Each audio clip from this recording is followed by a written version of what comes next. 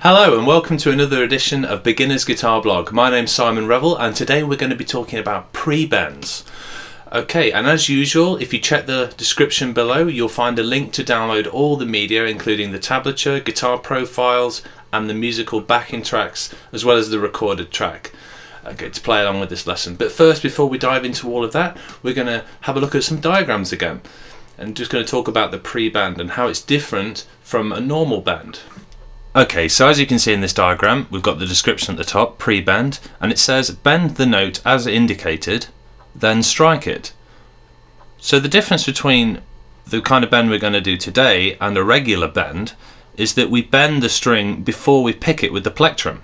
So uh, looking at the diagram on the tab part, not the musical staff above, um, you can see that it's indicating that we want to fret the note on fret 9 of the G string and then we've got an arrow that goes straight up and this means to pre-bend where we bend the string and then we strike it.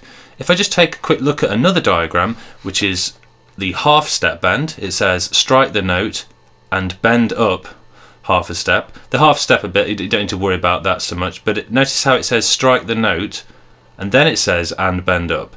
And if you have a look at the arrow, it's slightly different. It's more of a, a curve from fret 9 going upwards towards the right. So this is a normal bend. So going back to our pre-bend diagram, you can see the difference. So whenever you see one of these arrows in any kind of tab or guitar books or, or any anything you have a look at songs, what you want to play or, or something like that, you'll always see the up arrow going straight up means a pre-bend. Which means if you got that wrong, you know, and you thought it was a normal band, it won't sound exactly like the band that you can uh, hear on the record that you're trying to play. So that's why it's really important to study this. Okay, so let's dive into some of these exercises. The first note that I want you to play is on the B string at the fifth fret, okay? And I want you to put your first finger on that. So that's the second string and the first finger going on the fifth fret of the B string. Okay, and I just want you to give that a play. Okay?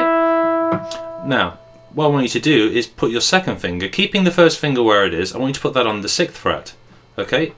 And I want you to play the string now. Okay, the aim of the game here is that we want the first finger to play the note as we bend it and make it sound like the one on the sixth fret. So I'll just quickly demonstrate what a pre-bend is. There's the note we want, here's the bend, and then we strike the string as we discussed earlier.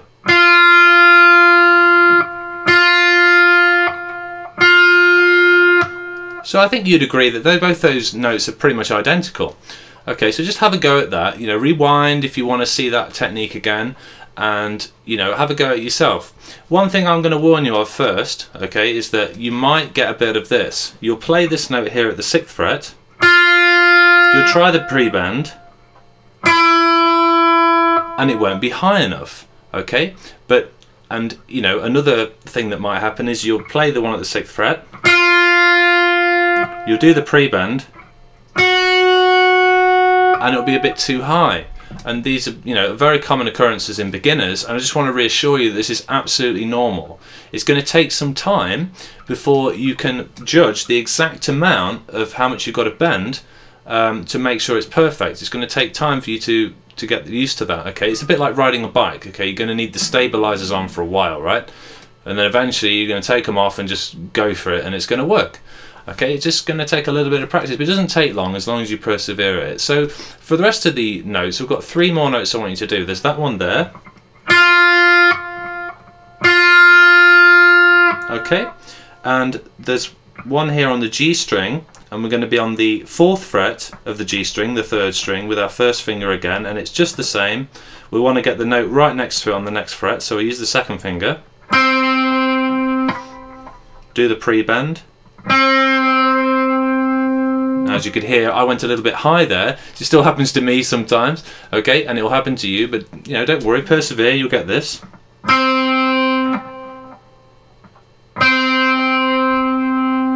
Okay, and the next one, we're on the seventh fret of the B of the E string, excuse me, E string. Okay, and we want to get the note at the eighth fret, so we'll play that one again with the second finger. And we'll bend up with the first finger, trying to guess how far to bend. We'll double check that. That's pretty much spot on. And the next note is on the B string, and it's at the same fret, the 7th fret, so we'll go to the one at the 8th fret with the second finger to check what we want to try and note we want to try and achieve.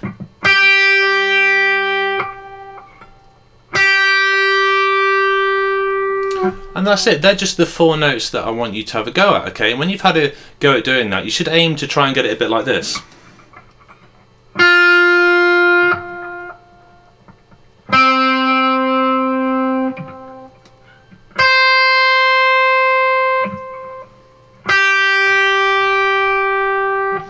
Okay, so let's talk about this week's exercise.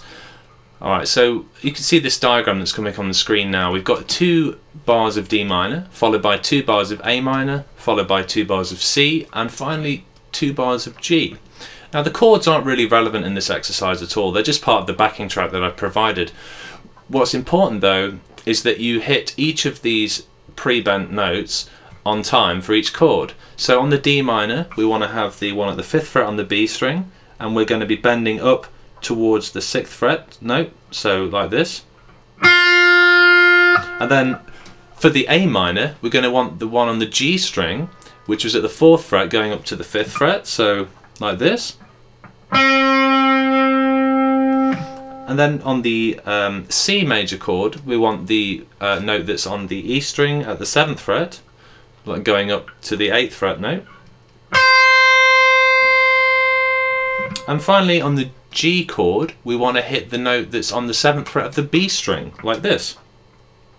And we're going to bend up towards the note that's going to be on the 8th fret. So here we go. Okay, so I'm now going to demonstrate that for you, and this is what you've got to play this week, so enjoy, and I hope it doesn't look too intimidating.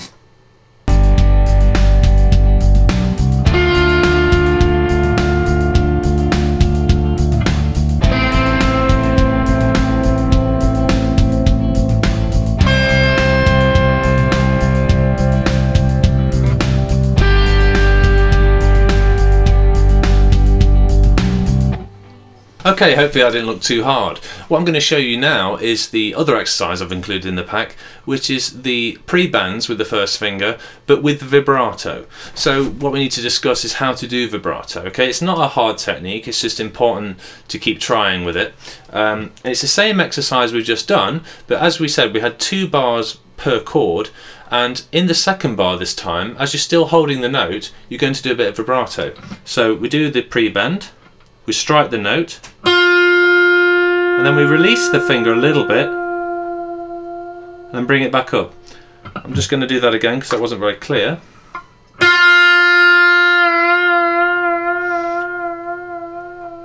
Now I've done that very slowly, but as you get a hang of that, you just keep going down a little bit, and back up a little bit, you know, you'll get the vibrato effect that's very slow, but as you get used to it, you'll be able to do it faster, like this. I'll show you on the other notes that we've been doing.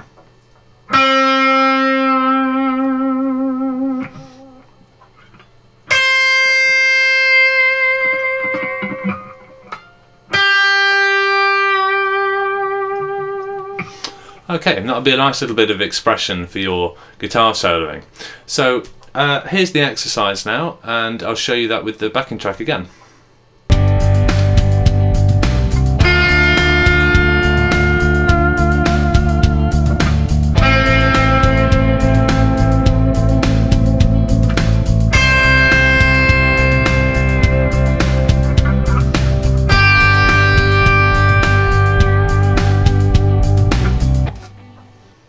Okay, so one more thing I need to tell you is, if you have a look at my hand again, you'll see that my fingers are kind of out of the way.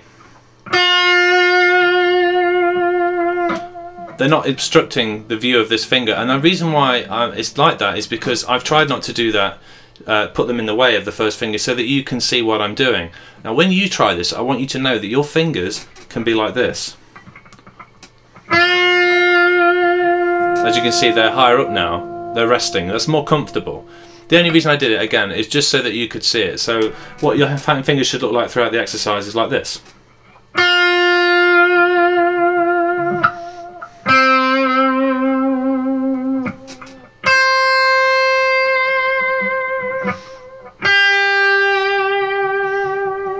Okay, and that's totally normal. So I just wanted to clear that up because you probably thought it looked a bit strange. Okay, so I hope you've enjoyed this exercise today. Uh, please download the pack. The links to the um, downloadable pack is in the description, so check that out. And we'll be back next week with some more exercises. I think we'll probably do some slides next week. We'll see what happens. Enjoy. Bye bye.